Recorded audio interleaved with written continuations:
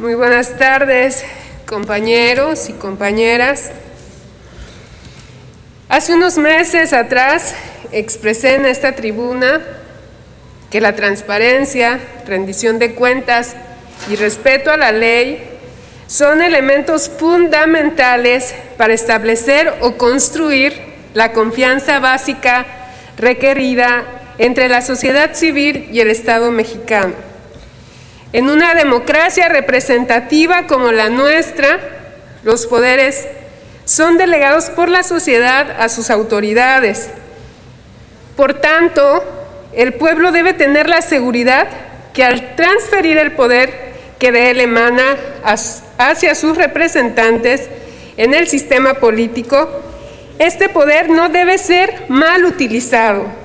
Como ciudadana mexicana, como ciudadana quintanarroense y como integrante de la decimosexta legislatura del Estado, acepto y abrazo la responsabilidad que me es conferida precisamente por los miembros de la sociedad para desempeñar mis funciones, incluyendo la fiscalización del gasto público. También mencioné hace unos meses e insisto en que la rendición de cuentas sea tanto horizontal como vertical. La horizontal debe involucrar la vigilancia a los órganos del Estado por instituciones dotadas de autonomía y otras atribuciones.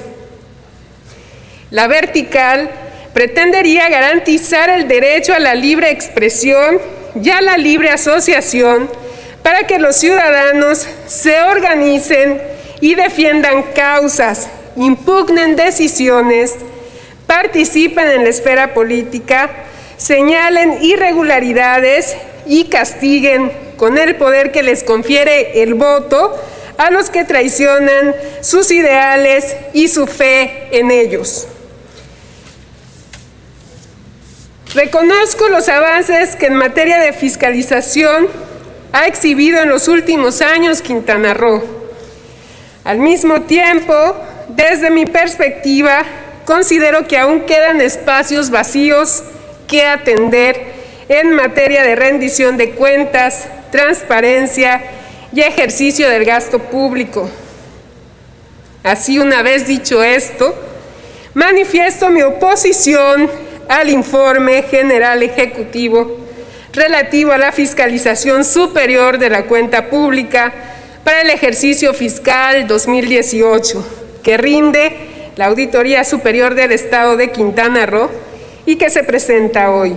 Señalo que las auditorías deben ser más exhaustivas y en mayor número a los entes públicos que las realizadas en la muestra de estudio, que debe tomarse en cuenta el servicio profesional de carrera y sus lineamientos para el sector público estatal omitido en el informe, dado que es parte esencial la experiencia profesional de los servidores públicos para el cumplimiento de los objetivos de los programas estatales y municipales.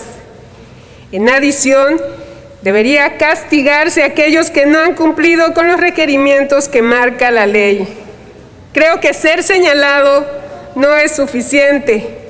Como se hace ahora en el documento al que me refiero, si se requiere crear una cultura de legalidad, incluso las observaciones hechas a los entes públicos de la muestra, de por sí ya reducida, podría ser sintomáticas de otros organismos en el caso hipotético de extender el análisis a un mayor número de ellos. El ejercicio indebido del gasto público en México y en Quintana Roo ha dejado y sigue dejando muchas lecciones. Por eso soy enfática. Bienvenidos los avances en materia de fiscalización en los últimos años en Quintana Roo y que se continúe así.